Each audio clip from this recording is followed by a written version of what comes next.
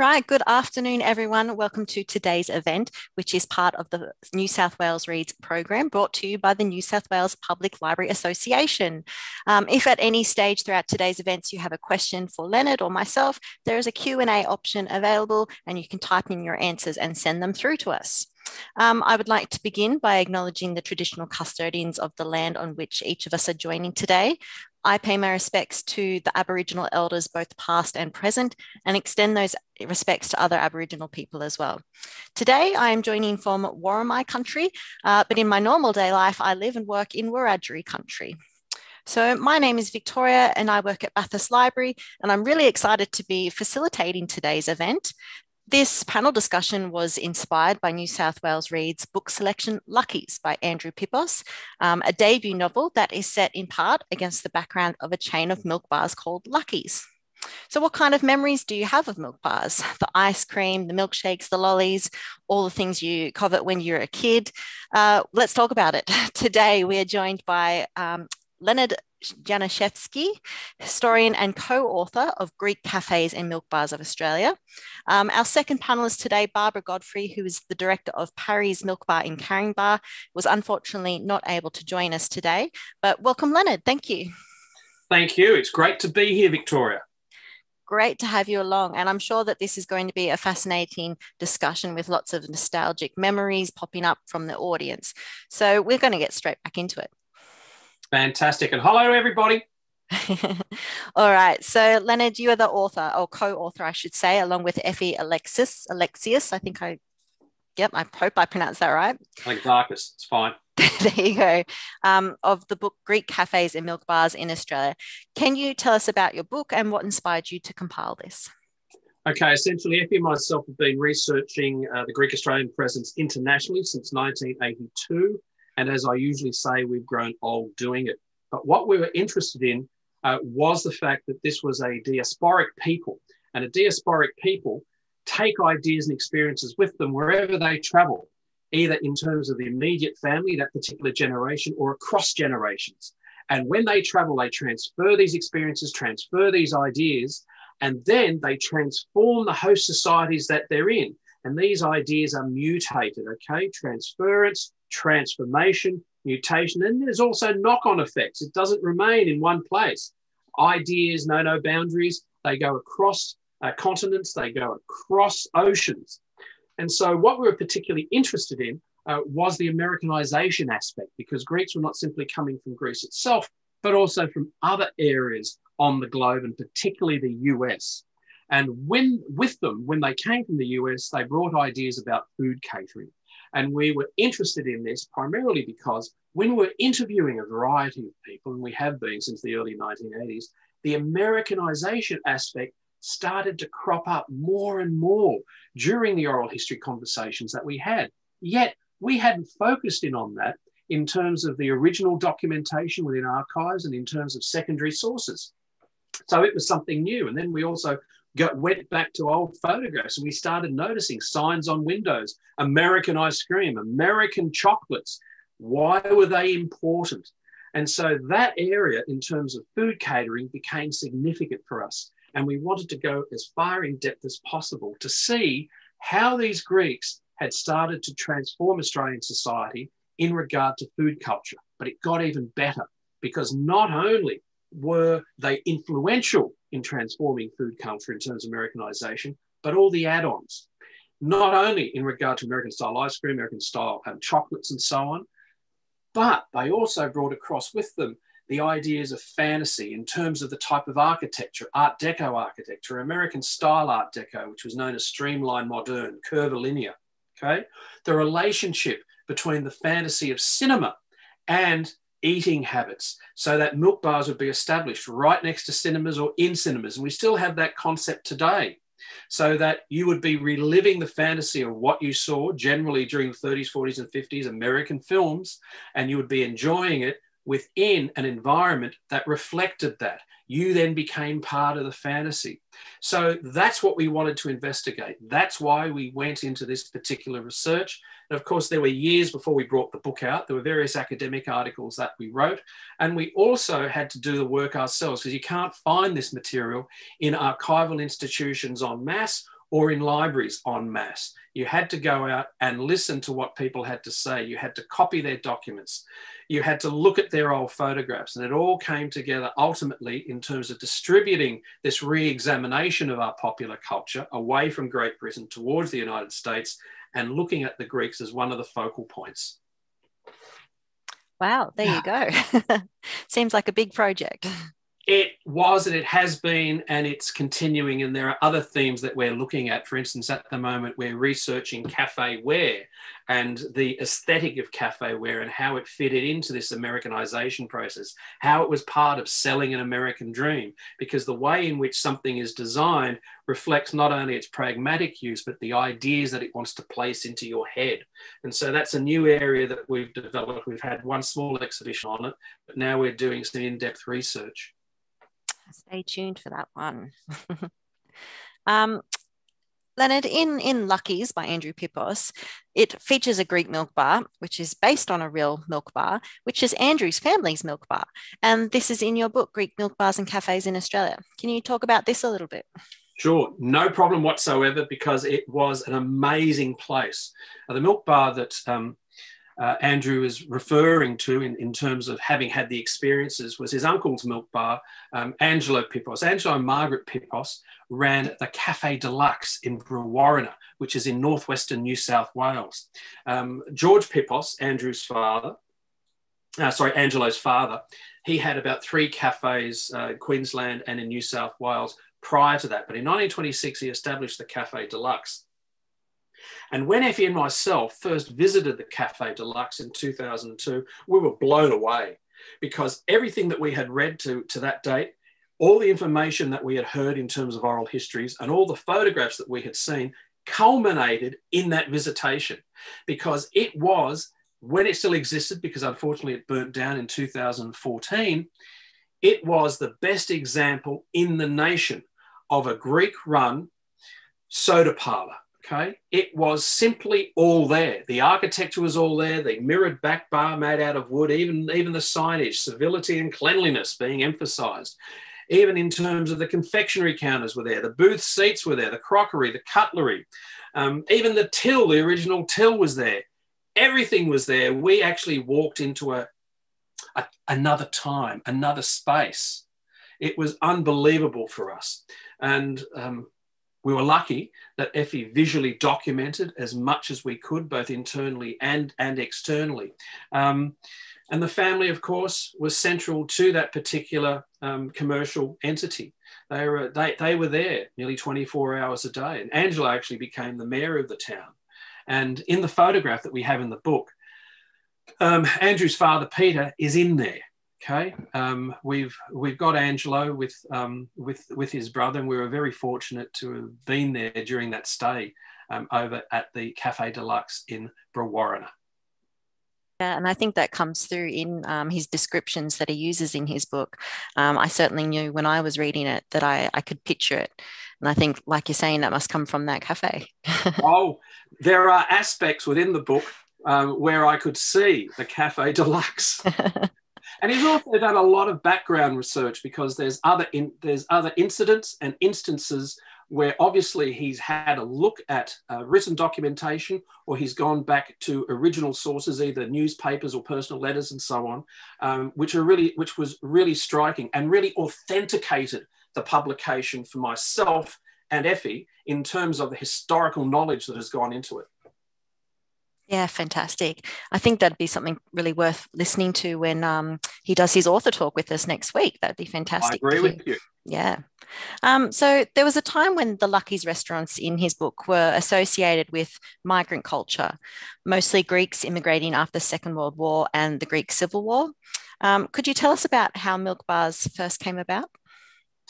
Yeah, sure. Look, first of all, to begin with, um, there are milk bars, cafes, and soda sundae parlours. I'll just give you a, a, very brief history. And yes, whilst the majority of Greeks that uh, the general population would be aware of arrived after World War II and after the Civil War, Greeks had been arriving here since at least the 1810s. However, it wasn't until the first real wave of Greek migration during the gold rush period, 1850s through to the 1890s, that Greeks started entering food catering. Many had been to the Californian gold rushes of 1849, and they knew that if you wanted to dig, well, you could be lucky and strike it rich, but the majority didn't. However, because gold fields had been established where there were very few um, urban facilities, where do you get the food? Where do you get mining goods and so on? They established themselves in shops, and many of these shops were mixed businesses that also provided meals. So that's where it all started in terms of Greeks entering food catering. By the 1890s, they then went into soda parlours, but it was the back service soda parlour. It was in the back bar. So the proprietor would have their back to you. And these came out of apothecaries or early chemists.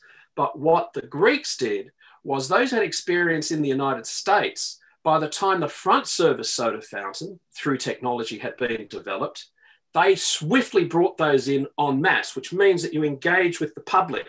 And that's very important for Greeks because eating is not just simply um, a habit in order that you can continue to live, but it's a social occasion. It's an occasion to talk to people. And even if you're trying to sell something, you engage.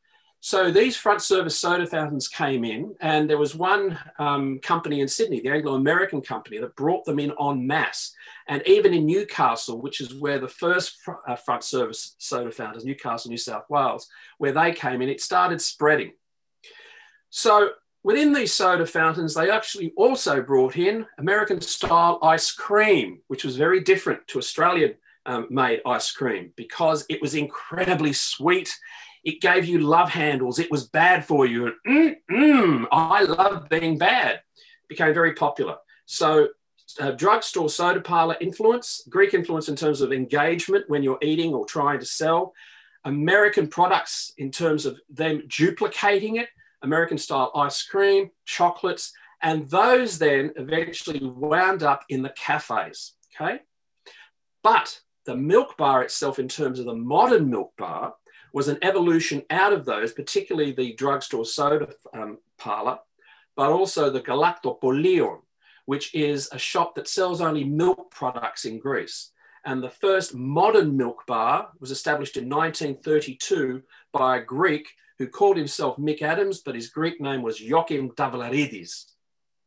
Now, he established this during the Depression. He'd been to the States. He had seen drugstore soda parlors in the United States. He had seen the Hamilton Beach milkshake maker, which was a milkshake whiz. Okay.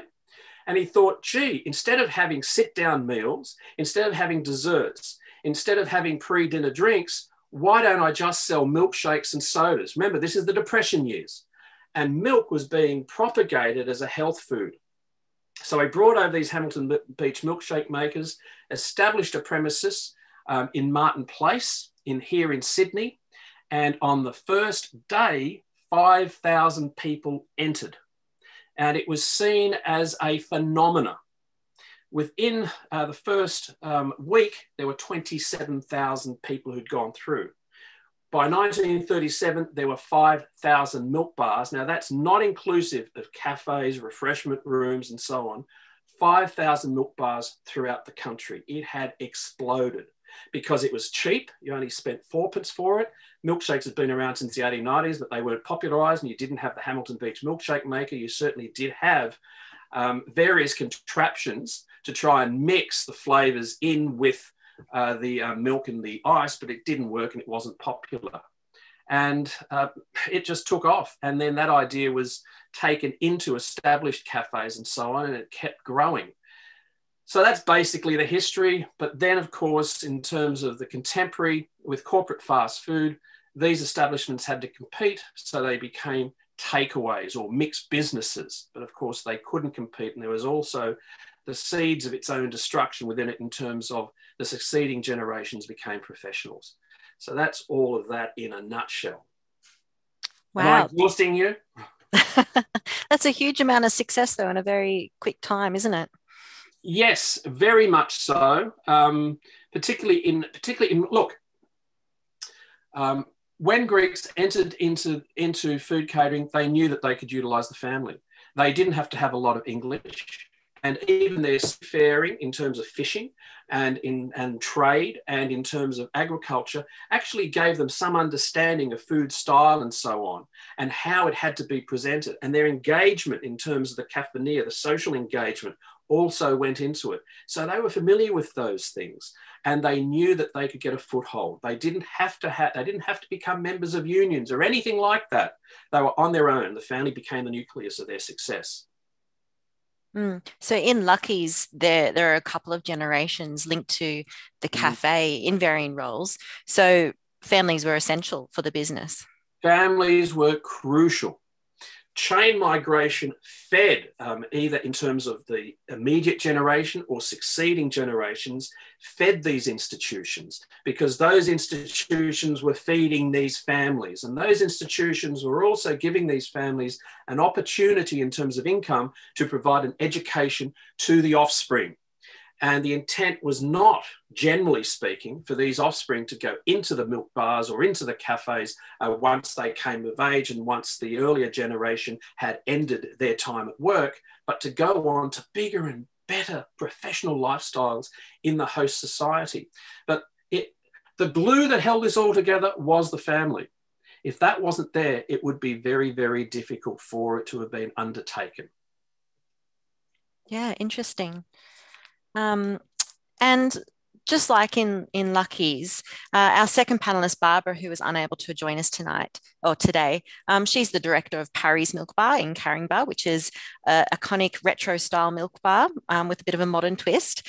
Um, and Parry's was at one stage a chain. So can you can you share with us, Leonard, a little bit about the history of Parry's? Yeah, sure. Uh, Parry's actually derives from the Greek surname Panaretos, and it's Cytherean. And the Panaretos clan initially established themselves the early part of the 20th century in the Waratah Cafe in Newtown, which was a significant cafe through which many Greek, particularly Cytherean families, went through the early part of the 20th century. But at the end of the 1930s, beginning of the 1940s, uh, Vretos Parry, or Panaretos, went off and acquired uh, the Kogarah uh, milk bar, which was the first one in this particular chain. They also, of course, um, acquired uh, Rockdale as well as Caringbah. In Caringbah, uh, that continued until I think, oh, the Casamatis took it over. And I think that was in 1969. The Kogarah one, uh, sorry, the Caringbah one, Panaretos is established in 58. And by 69 or so, the Casamatis, who are also Cythereans, took it over.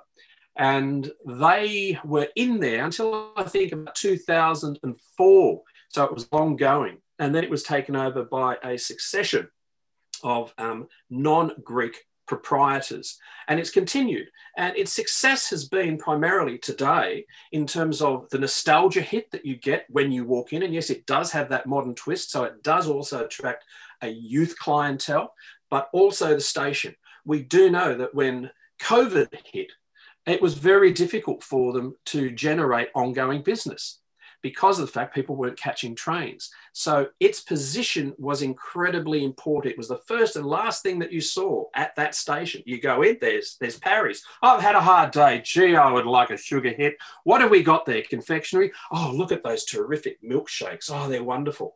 So it has succeeded and it has remained. And I wish them luck for the future because for me, it is the epitome of what milk bars were like. Fantastic. Um, we have a we have a comment here actually from one of our audience, Leonard, which kind of ties into the same kind of thing. Christos, he says, My father, forgive me for mispronunciation, my father, Constantine Karangis, opened the Embassy Cafe in Newcastle in 1942, which he sold in 1976 to Peter Douglas. It still operates as a cafe and has some of the original booths. Does this make it one of the oldest cafes in Australia that still operates? Look, I, it can't be the oldest. Uh, the reason for that is we still have, for instance, um, the Niagara Cafe, which is now up for sale, that's at Gundagai. That has been operating in terms of Greek run continually since 1902 when Stathis uh, Nataras established it. It acquired the name the Niagara in 1919. um, and the Loukissas family are still operating it, although it is up for sale. However, in regard to the Karangis family, I'm very glad that you brought that up, Christos, because they are significant in terms of um, the establishment of popular food catering in Newcastle itself. Um, of course, uh, Karangis, um, the Karangis family has also been associated with the two Niagara cafes that had been established in Newcastle itself. And in actual fact, the first um, Niagara Cafe, which was established at the late, late 19th century, very early 20th century, um, it was one of the first to have a front service soda fountain. And the reason for that was because there was a coal trade, believe it or not, between Newcastle and California. So the Californians did not want to get their coal from the East Coast. The West Coast Californians wanted to get their coal from Newcastle. So there was an exchange going on because there was a large Greek migrant settler community in California that had gone into food catering. And many of them were from diverse areas of uh, Greece itself. And the ideas kept coming over. And so we got these um, cafes being established in Newcastle with these front service soda fountains. And the Karangis were brought out initially to go into the Niagara. Okay. And then they established another Niagara. And yes, uh, Con Karangis then went into the Embassy Cafe. And yes, it is still going. And the son of uh, Douglas is now operating it. So it's so it's one of the oldest, but not the oldest. I hope right, that answers Christos. your question, Christos. But I hope it continues going. um, yeah, we hope that answers your question, Christos. If you want any more information, please type in some more. Um, we might talk a little bit now, Leonard, about how, how milk bars tend to be chains, chains of milk bars. Um, so Parry's at one stage was a bit of a chain. And in Andrew's book, Lucky's, um, the franchise at its height was in more than 30 locations. So why do you think they proved to be so popular across across the world? Okay, look to begin with, yes, um, Andrew is quite correct. Chains did prove popular. By chains, it's not in the modern concept of franchise, all right? These were private treaties between one member of a family and generally another member of the family. The Cominos, for instance, established a chain, in inverted commas, of Comino cafes particularly here in New South Wales and in southern Queensland. They were Cythereans. And they're generally attributed um, to having developed en masse this idea of Greeks going into um, food catering, of course, although we know that um, prior to the early 20th century, prior to the 1890s, Greeks had been working in the um, goldfields in food catering establishments. Um, but even Mick Adams had this idea of a chain. He established the black and white milk bars, for instance, with um, family not only in Sydney, where there were two, there was one in uh, Melbourne, two in Adelaide, one in Brisbane, one in Wollongong. They became incredibly popular. It's where, again, this idea of transference and transformation, where the ideas were transferred to other members of the family or family friends, and then they established themselves in different areas to generate an income for their particular family members at that particular site. It was incredibly popular. But why the chains took off? Well, various reasons. Um, in the period prior to the popularization of the milk bar concept, where else did you go to eat?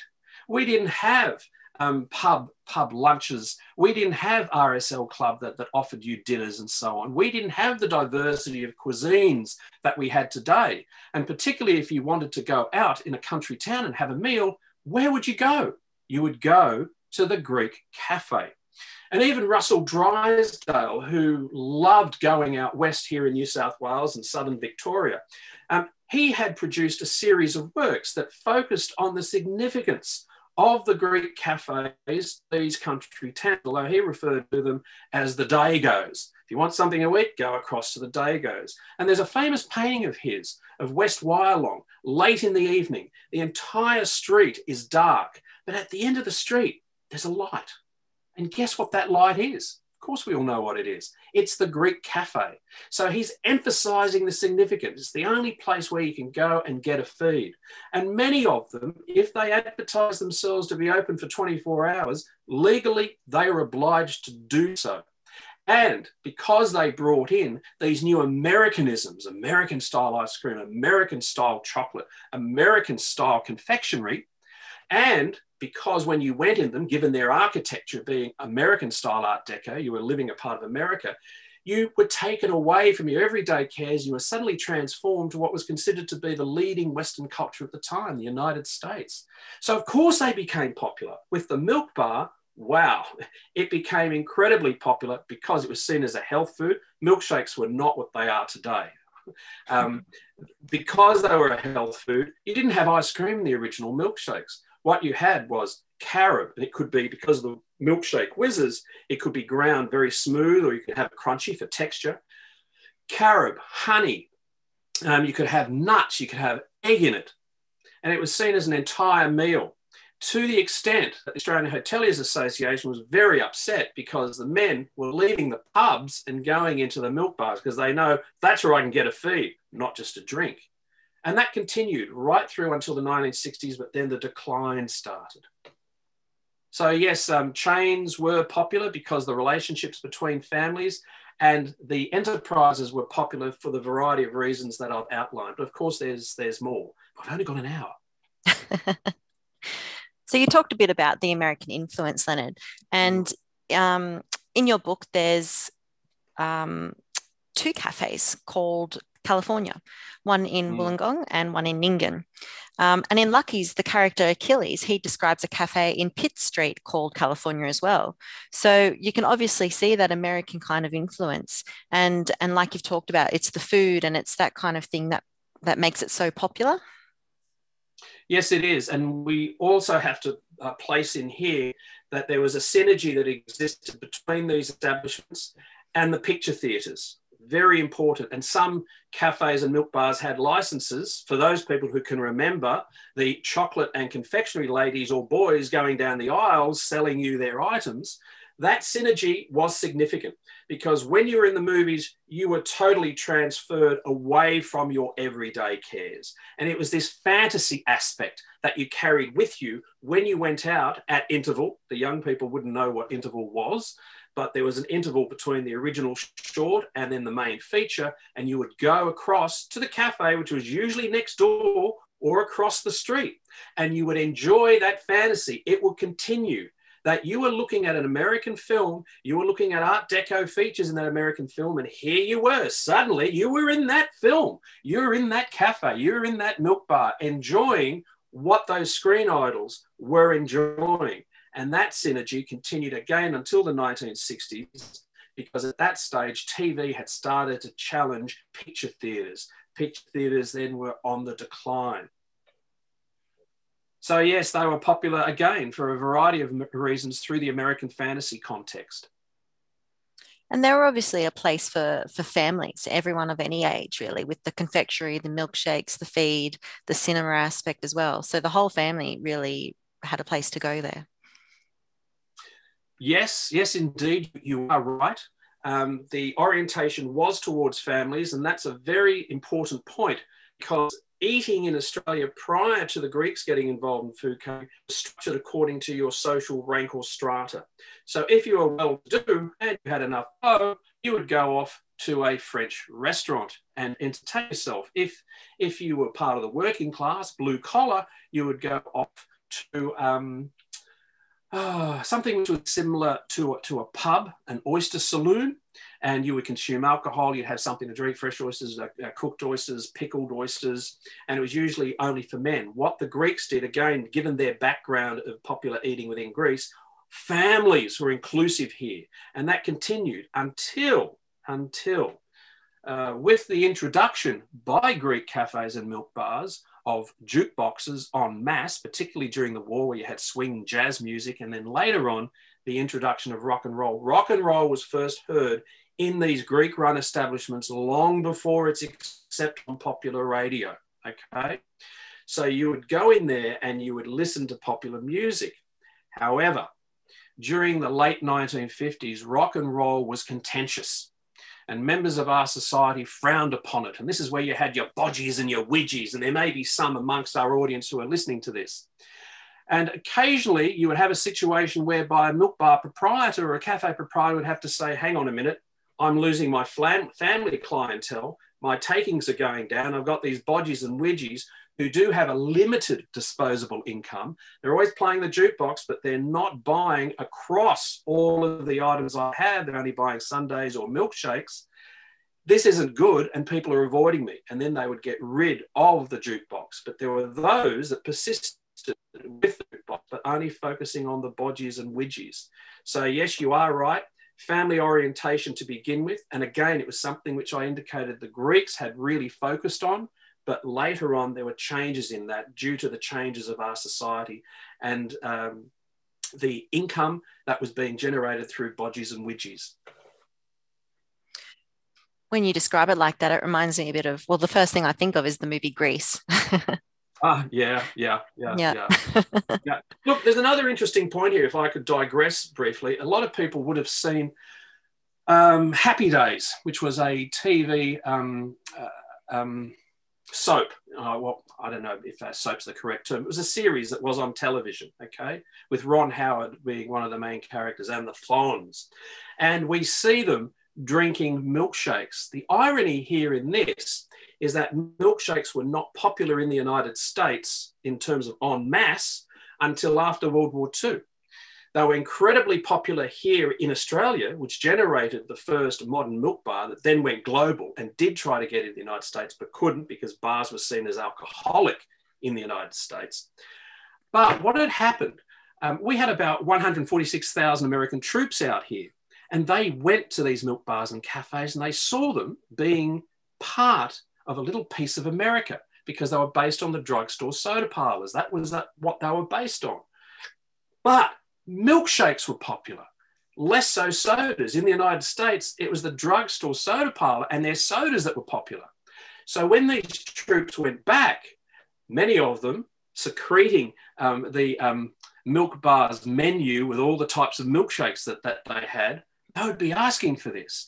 And we've seen statistically that there was a rise of milk consumption in the United States, in these establishments, in these drugstore soda parlors, in, in the US and their derivatives in terms of diners and so on that are developed.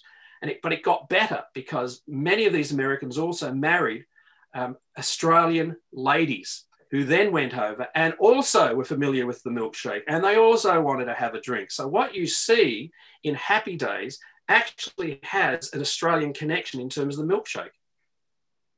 There you go. uh, nothing, right? Okay.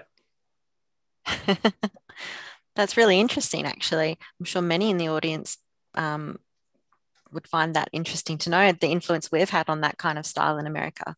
Yeah, as I said, ideas know no boundaries. They simply keep crossing, transferring, transforming, mutating mutating, absolutely. So you've spoken a bit about the kind of milkshakes that these cafes had available. Um, in Andrew's book, Lucky's, he mentions some of the items available in that cafe franchise, such as the mixed grill, but never Greek food. Can you tell us, was that something that happened? Was the Greek food not on the menu? Generally speaking, no. Um, it was frowned upon. It was seen as, to use a derogatory term, to use this to use this phrase as a derogatory term, peasant food. Um, British Australians were used to having their um, uh, meat and veg, having their mixed grills, their um, bacon, their, their um, sausage, and so on, um, their steaks with eggs. That's what they were used to. Uh, cuisine that was agricultural based in terms of um, what you would, uh, in terms of growing vegetables and so on. no, no, no, that isn't what we eat. No, no, no, no, no, no, no. Wouldn't do that. Um, many farmers, for instance, who we've interviewed, because we not only interview those who ran cafes or those who worked in them, but also those who went into these establishments, um, they saw Greeks gathering weeds on the side of the road in uh, near country towns, and they were dandelions. And what are you doing? Oh, that's hot. Liver. Um, uh, we cook it. We we put lemon juice on it. We put some salt on it, and it's very good for you. That isn't what they were interested in. However, there were some Greek cafes and milk bars that attempted to introduce Greek style food items. For instance, the Paragon Cafe, the famous Paragon at Katoomba, which is now closed, it was closed since 2017. Um, in the early part of the 20th century, um, Zachariah attempted to introduce um, Greek sweets, such as baklava, for instance. In a limited fashion, but he still persisted with it. But it wasn't incredibly popular. What was popular were the American style sweets that they were and chocolates that they were manufacturing. In Darwin, for instance, if we go up there, the Continental Milk Bar that was established after World War II, milk bars had been established in Darwin prior to that, but um, Darwin population was evacuated because of the war. When the Continental Milk Bar was established, um, and this was established by the Manolis family, um, Nellie Manolis, who was a Paspaley, connected to the Paspa famous Paspaley Pearl family, um, she started producing keftedes, which are Greek-style milk uh, meatballs. They proved incredibly popular, but of course, they had somewhat, in terms of their, their meat content, a similarity to what British Australians were familiar with. But they persisted again, and they actually took off over there. So yes, whilst by and large you did have British style meals that were still being provided. You did have attempts at introducing aspects of uh, traditional Greek cuisine. Okay. Um, there was also a cultural, uh, maybe I should, I should, call it a cultural uh, cringe. Um, there was a sense of superiority by British Australians in terms of their whiteness and their white culture. And Greeks were not seen as part of that. They were certainly very popular in terms of their commercial abilities and food catering, but culturally they were different. And remember, food is part of culture. So you don't, as far as British Australians, a generalisation here, were concerned, they wanted to continue eating what they were familiar with, which they thought was part of a, a society and a culture which was buoyant, rather than a society and culture which they deemed to be peasant. This is getting into white Australia territory here. but you know what I'm talking about, don't you? Yes, absolutely. Um, we have a question here from Antoinette Leonard. You may be able to shed some light. Um, she talks, well, earlier when we were talking about how in country towns the Greek cafes may be the only place to get a feed. Mm-hmm. Antoinette asks, in country areas, what about getting a meal at a Chinese restaurant? Was there any kind of competing com, com, competition Chinese kind of restaurants came later, okay, in terms of, I'm not talking about Chinese establishments that were specifically established for the Chinese. And in fact, some research has been done on this, but Chinese establishments that were directed towards the broader popular audience. That certainly was a manifestation of the 1960s and 1970s when our cuisines started to uh, diversify the reason for that was we started travel. We started to catch planes. We started going overseas. We, we took off our blinkers in terms of our cultural myopia and saw that cuisine could be much broader than what, we're, what we were used to.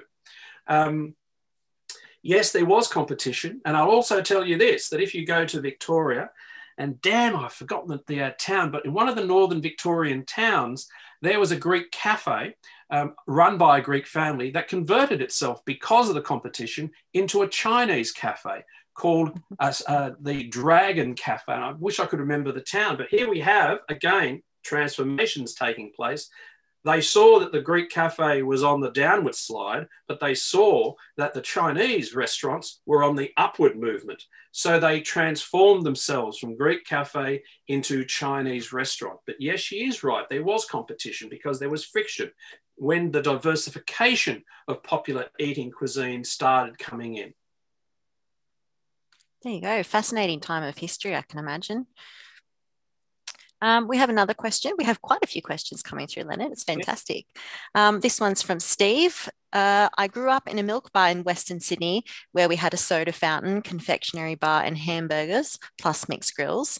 From the late 40s to late 60s, were the Greek cafe milk bars the primary introducer of hamburgers to Australia? Okay, my argument would be to push it towards the Greeks, yes, because we do have, again, it's an American influence It's not it, it wasn't generated within Australia, although we've had our add-ons, of course, in terms of beetroot and in terms of pineapples. And there's been various books written about the history of a hamburger and what is a hamburger. And it even goes back to Mongolia, the Mongolian plains, in terms of how a meat patty was established. But generally speaking, when we take a look at the archival record, we can find that from the late 1920s onwards, the idea of hamburger, or as they were advertised then, super American hamburgers, and then an explanation of what they were, were being advertised by particular Greek run cafes. Okay, that's the earliest that we have that instance in terms of documented evidence, late 1920s onwards. So I cannot, I cannot locate at this present time a reference in a British Australian establishment, and there were British Australian refreshment rooms and so on, um, that that indicate that they had hamburgers. It was the, these were ideas that were coming direct from the United States, and our relationship to the US in terms of popular eating seems to have resonated through the Greek experience of the US. And remember, the Greeks, not simply those coming here, but they would be constantly writing to one another, or when they had um, cable across the Pacific, talking to one another about what things were happening, what was new, and so on. And I would argue at the present time, until I find something else or until anyone out there knows of further information, that the Greeks were instrumental with the introduction of the hamburger from the 1920s onwards, late 1920s. And Peter here has a similar kind of question. What about the Greek fish and chip shops? Where do they fit in? And are there family ties to the cafes there? Yeah, there are. Look, fish and chip shops have been around in terms of um, Scottish and even Irish involvement uh, from uh, the 1850s onwards. There's evidence of these type of establishments, and they were particularly popular during the 1880s and the 1890s. And in actual fact, the Cominos, that um, family that established the early chains of soda parlours within New South Wales and southern Queensland. Um, um, John and Athanasios Comino are, are connected to having seen, or at least John is, um, sorry, Ath- um, Athanasios is, in terms of having seen um, a fish and chip shop and have taken and, and took it over. A fish and chip shop that I think was being run by a Welshman in um, Paddington in, in Sydney. And in actual fact, that establishment was, ba- was on the same site that a Greek fishmonger had prior to the fish and chip shop, but then thought, oh, that's a good area to go into. So they established themselves in that. But slowly they started getting the idea of having soda parlors, and having a soda fountain within it, and providing a diversity of meals, not just simply fish and chips. But that tradition is a British European tradition, which the Greeks did engage with to begin with, to get a foot in, particularly in the very early part of the 20th century, but then they started diversifying given the ideas and experiences that they had, particularly from the United States and their own ex- cultural experiences from Greece. But yes, and there has been some individuals who have tried to do some research with fish and chips uh, shops, and there's a book that has come out um, recently called A Wog in a Fish Shop. Um, the author's name, oh, it's not Leonidas, but it's recently brought out. And if you Google a wog in a fish shop, you'll be able to get the experiences of an individual growing up in a fish and chip shop in, I think it's the 60s. Um, but more research has to be done on that. More research has to be done. And we have a question, Leonard, from Suma. Why are they called milk bars? Why not milkshake bar or ice cream bar? Ooh, um, very yeah. good one. Yes, love it, love it, love it. Okay. Um, Earlier on, I'd mentioned in terms of the development of the milk bar, the galactopolion, okay, which in Greece is a milk shop, okay. Now, let's take a look at what was here. Soda parlors are also known as soda bars. So gala is milk in Greece. So let's put that together. Milk and soda parlors, milk bar. Okay, soda parlors or soda bars, bar at the end, milk. That's how that name started, started to develop. Okay, milk was also utilized as a reference to a light refreshment, not an alcoholic beverage, not an alcoholic um, um, um, establishment. The term milk bar actually existed before its commercialization through the popularization of milk bars um, in terms of the concept that uh, Mick Adams or Joachim Tavlaridis had. Um, if people sometimes they even referred to soda parlors as milk bars, okay, generally speaking, even before the modern milk bar concept had been established. But it was a generalization in terms of, yeah, this place sells light refreshments, not alcoholic beverages. But for me, it's the marriage between the uh, milk shop concept, the galactopolion in Greece itself, um, with the drugstore, uh, sorry, with the soda parlor or soda bar that had been established here. Bringing those two things together, marrying them. Wonderful. Gosh, we've got so many questions. It's really great to see all these wonderful questions. Um, Leonard, I might ask you what um, what are some of the factors contributing to the demise of milk bars? They're multiple, absolutely multiple, and I made reference to them um, somewhat earlier. But to begin with, these establishments were not for, generally speaking, the second or third generations. These establishments were there for the foundation of the family, the, the foothold within the new host society, and a foothold within the education system to give them the material means to go to good schools and so on, and become professionals.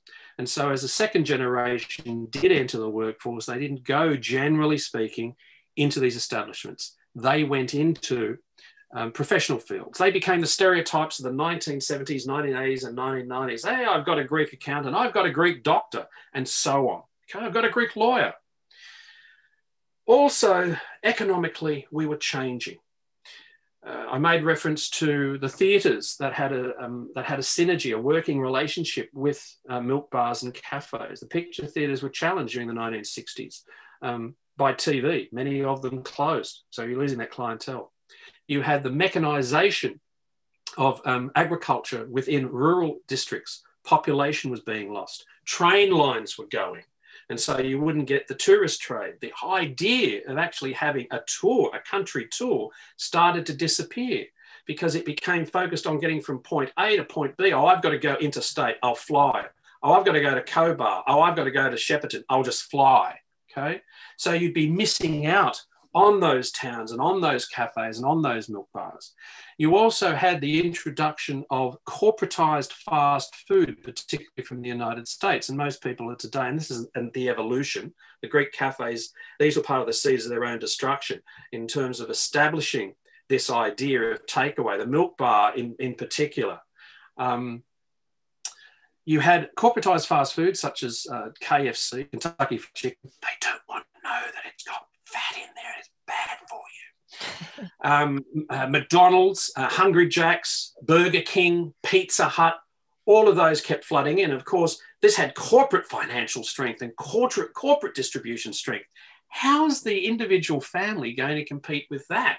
You also had, in terms of the ice creams and milkshakes, the milkshakes, for instance, you know, had flavored milk. You want a milkshake? Shake it up. There you go. Take it away rather than going and creating it over at the Hamilton Be- with a Hamilton Beach milkshake maker.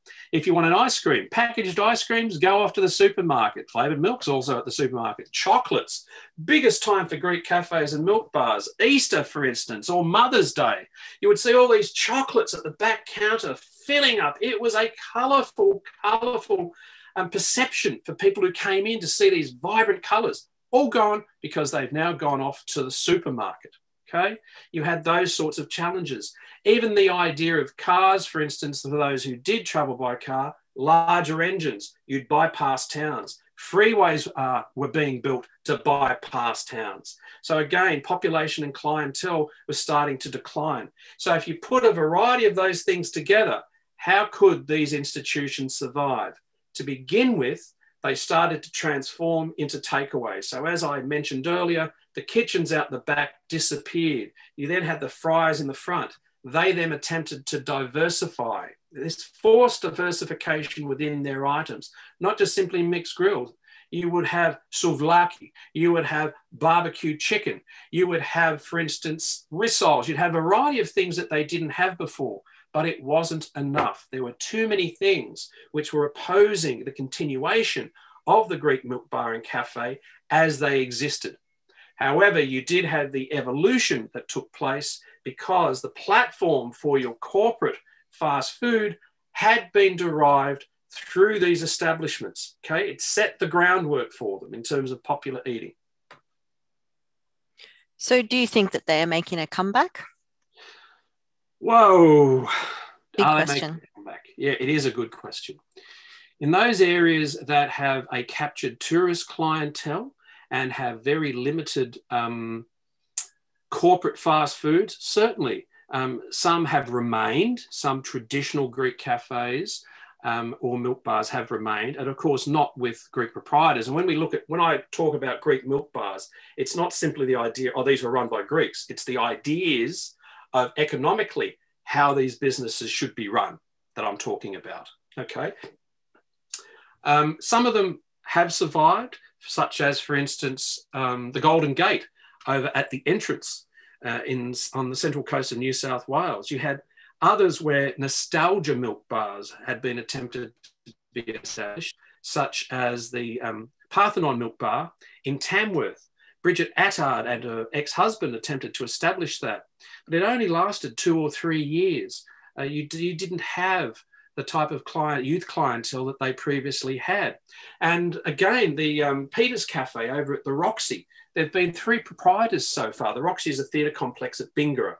Three proprietors have been through there so far. They don't get the tourist trade and they don't have the local trade that they need to survive as an economic entity. Um, these things can't simply exist on nostalgia. There has to be a sustainable economic package of ongoing income to maintain these places. Um, but certainly, there are some Greek cafes, traditional Greek cafes and milk bars that have continued to exist, and I mentioned some of them earlier. And there, and there have been attempts to establish nostalgia outlets. But from the experiences that I have seen so far of the proprietors, it's very, very difficult. They have to have something going in their direction, and particularly not having competition from the corporates or providing something to the local community, either in terms of ongoing identity or a particular type of product which isn't felt elsewhere, by which they can see sustainability at least during their proprietorship of that business. But very difficult. Yeah, uh, of course, if there are any out there, Monica, who uh, Victoria, sorry, who um, who are running these establishments, um, my congratulations to you because it is incredibly difficult. Sorry, Victoria. No, you're right. Um, we have quite a few people here um, commenting and asking about the Olympia Cafe on Parramatta Road. Mm-hmm. Um, someone here says the end of the milk bar makes me think of the sad demise of the Olympia bar um, and the owner, one of two brothers, the last man standing, and then closure, um, which is sad end, but similar to the the character Achilles in the Lucky's book too, which is a good observation. Yeah. Oh yeah, very very much so. Yeah. Um, yes, Nicholas Fotiou is still in there, and that individual may know that he still sits in the Olympia Milk Bar, even though it's shut um, as if he's waiting for customers to come in. Look, there is a, a socio-cultural issue here in terms of it's not just simply a business for these families. Um, it's been a lifetime experience, something which you just can't let go of when you shut the door. Now, he's been, Nicholas and his brother John, Nicholas arrived out in Australia in 1955. He originally went to the Silver Key in Wagga and then went across uh, with his brother to the Olympia, and they purchased the Olympia in the late 1950s, very early 1960s. They also, at one stage, were looking at uh, buying the um, deluxe picture theatre that had been transformed into a roller skating rink right next to them, but there were issues and there were problems.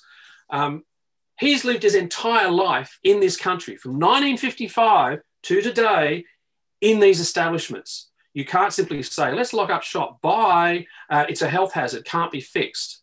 Um, what do you do in these situations? Is there a social responsibility that we collectively as a community have? I've got my answer for that. I don't know what others have.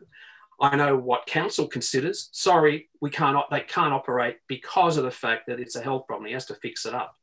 Um, it's a it's a impasse. What's going to happen there? Um, and Nicholas is a very private individual. He does not want to have assistance he wants to keep to himself. That's that's an, that's another issue. But yes, it's it, it, it was established as a milk bar in 1939.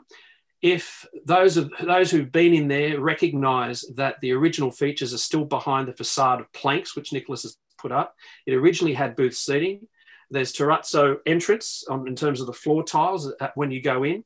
And because it was established in 1939 as a milk bar, you will see how long the bar is, and it has island bars. So that because the distance between the back bar and the um, and the front bar was so small, you had to know what people wanted. So, I, so in the original back bar, it said sundaes, sodas, milkshakes. So when people lined up, they knew to line up there to get these items, and a very small confectionery uh, section because the original milk bars did not have confectionery. It was only sodas, and sundaes.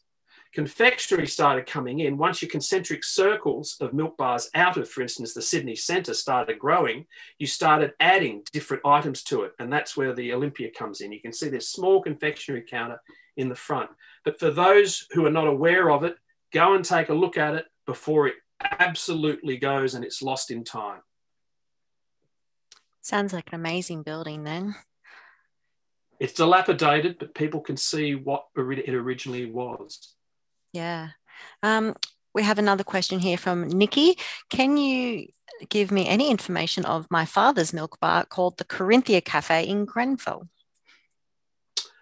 Funny that, because we um, gave a presentation in Grenfell, and in actual fact, we acquired the signage um, of that cafe, uh, which we have in our in our archival collection. What I mean by signage is signage um, uh, that that um, oh gee, I'm forgetting my terms. Okay, everybody, what's the signage where you have the lights on it? Um, neon lights. Duh, I'm getting old. Um, the original neon lights, of course, the neon lights aren't there, but the metal backing is. Um, in terms of the actual history of that cafe, I would have to go back to notes. I'd have to go back to research, but that's the first thing that pops into my head. Yes, we do have the original um, signage. And if she goes to Facebook site called Greek Milk Bars and Cafes of Australia, and she takes a look at a display that we had at the Australian History Museum at Macquarie University, she will see that sign. She'll see what it looks like. Fantastic. There you go. We'll have to look that up on Facebook. Um, another one here from Anetta. Are you familiar with the Acropolis Milk Bar Cafe that opened in Gunnedah in the late 1940s?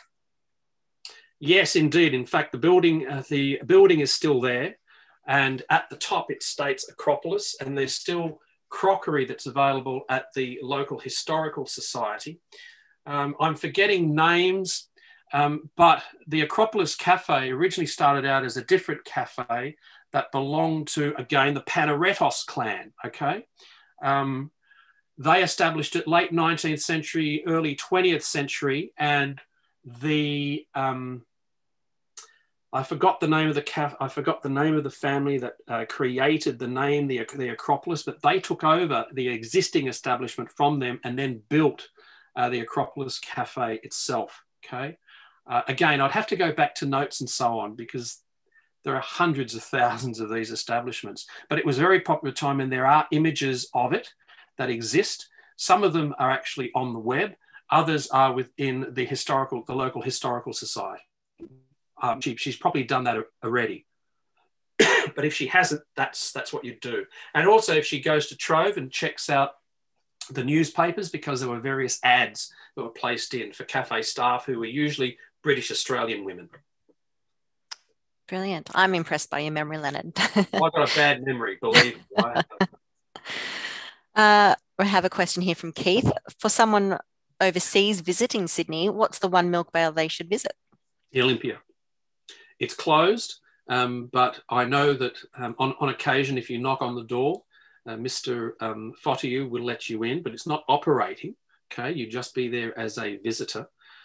Um, of course, Parry's, you've got to go to Parry's because that's still operating and you still get the hit of nostalgia. But of course, you also have the modern twist in terms of what's available. And they have modern milkshakes, um, which have been created as a mix of pastries, sundaes, and milkshakes. Now, they are incredibly bad for you. Uh, sorry, Parry's, but they are. Look at, look at me. I, I love milkshakes. And I've gained love handles and a little tummy, so I'm told, because of it um, yeah, do go to Parry's. Uh, if you uh, want to go elsewhere, you could go out to Katoomba. The Paragon is closed, but there are other cafes um, that are still operating. There's a new Paragon cafe that has been established across the road, and you'll get a little bit of a hit in terms of what they provide in uh, regard to traditional um, refreshments that you get at these establishments. Um, oh, gee, where else? The Pacific one's gone. Um, if I was this gentleman, I'd also take a road trip, uh, go down the, to the Niagara at Gundagai. Um, there's also the White Rose at Temora, the White Rose, I think, or is it the Red Rose at uh, Dunedoo? There's still some which are around, and certainly go up to Bingara and um, get get the full hit of what the cafe theatre synergy was all about. And as I said, there's a little cafe museum up there.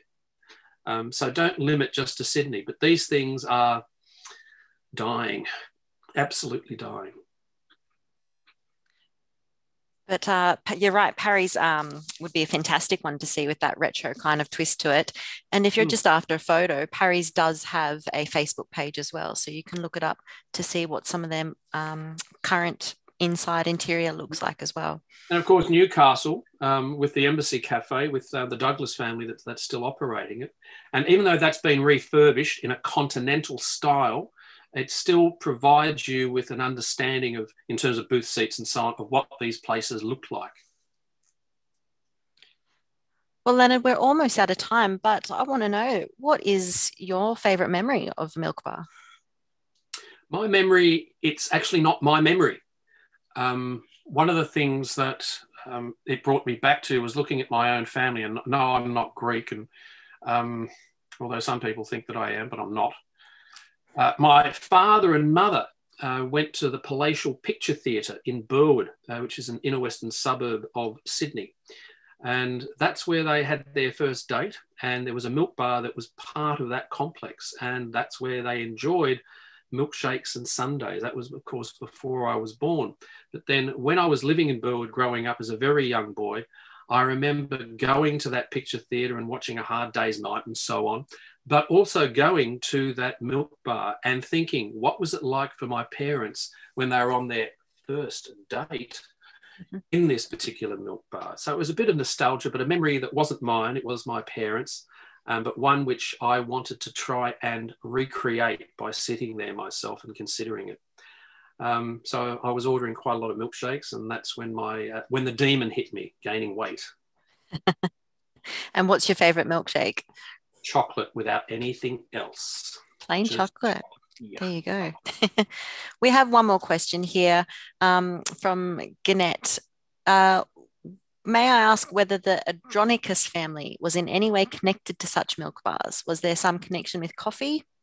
Yes, there is a connection with coffee. The Andronicus, the Andronicus brothers had established themselves um, in, in Sydney and they established two premises um, in Sydney, but the last one was near Circular Quay on George Street.